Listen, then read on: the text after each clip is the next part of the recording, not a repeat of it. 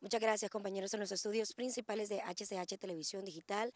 A esta hora me acompaña Lenín Valeriano, quien es el coordinador de la normativa de drones. Lenín, ya existen eh, normativas para volar este tipo de aeronaves no tripuladas en el país. Efectivamente, pues hace poco salió publicada ya la circular de obligatorio cumplimiento para los sistemas de aeronaves pilotadas a distancia, comercialmente conocida como drones. Es una normativa técnico-jurídica de manera temporal, la cual este, nos permite pues regular eh, limitaciones generales de operación sobre determinadas zonas y también nos permite establecer el procedimiento para el registro tanto de equipo como de pilotos. O sea que todas las personas que posean un dron tienen que eh, legalizarlo, aún eh, que lo usen en su casa. Cabe aclarar, cabe aclarar que no todas las personas se van a someter al, registro, sino que se van a someter solo aquellas que estén dentro de las categorías que establece la circular. Nuestra circular establece dos categorías, una por peso y otra por actividad. La categoría por peso va de 250 gramos a 2.5 kilogramos y la categoría por em, actividad, que son comerciales o actividad gubernamental.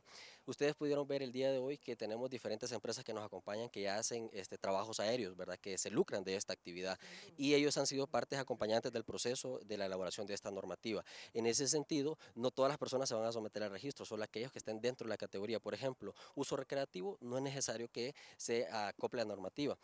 Esta normativa también tiene una peculiaridad, se establecerá básicamente unas eh, zonas ¿verdad? de operación para como parques recreativos de drones, en la cual las personas que están desarrollando drones en Honduras, porque por ejemplo acá tenemos fabricantes de drones, pueden hacer sus pruebas de vuelo en determinadas zonas que no eh, estén en zonas de aproximaciones a la pista de vuelo, como por ejemplo aeropuerto Toncontín, aeropuertos internacionales o helipuertos, etcétera, porque pueden ocasionar la situación de riesgo. En ese sentido, esta normativa es una normativa flexible y que también ha sido acompañada por los diferentes operadores. Ahora bien, ¿hay alguna del país donde se ha prohibido volar un dron? Nuestra normativa, como les estaba explicando, contiene limitaciones generales de operación. Les voy a poner un ejemplo. No se puede volar 5 kilómetros a la redonda de un aeropuerto internacional. Este es un ejemplo, ¿verdad? ¿Por qué?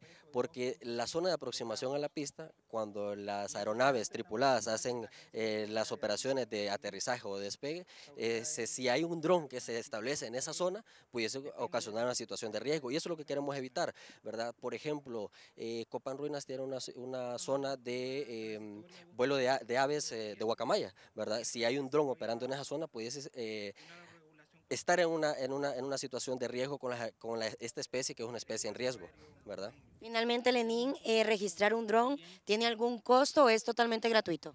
Aclarar que este es un registro, ¿verdad? Es un registro tanto de los pilotos remotos como del equipo que ellos vuelan, para crear una base de datos en aeronáutica civil como lo manda la OASI a través de la circular 328 y el manual 119, y que nosotros los estados podamos crear, eh, saber quién y qué está operando nuestro espacio aéreo hondureño, y actualmente la normativa tanto para el registro de equipo como el registro de piloto no contiene costos. Muchas gracias a Lenín Valeriano, coordinador de la normativa de drones. Compañeros, con este contacto yo retorno con ustedes hasta los estudios principales de HCH Televisión Digital. En cámaras, Joseph Hernández.